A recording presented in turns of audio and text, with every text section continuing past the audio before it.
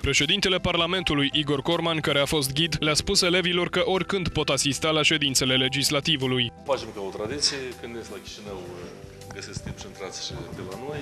Cei care doresc chiar să asiste atunci când ședințele în plen, iată, o să găsim loc acolo în loja pentru vizitatori. Chiar dacă a durat o oră, vizita i-a determinat pe copii să urmeze o carieră politică.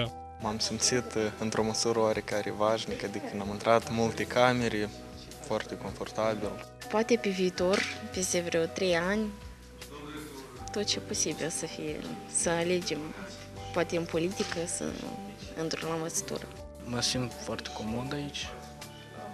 Aș vrea în viitor să ocup și eu un loc uh, aici în Parlament.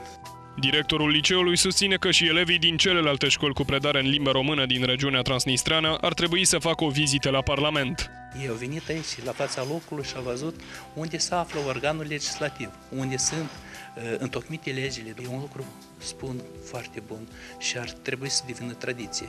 În cadrul întâlnirii, șeful legislativului Igor Corman a declarat că autoritățile de la Chișinău vor continua măsurile de consolidare a încrederii între cele două maluri ale Nistrului.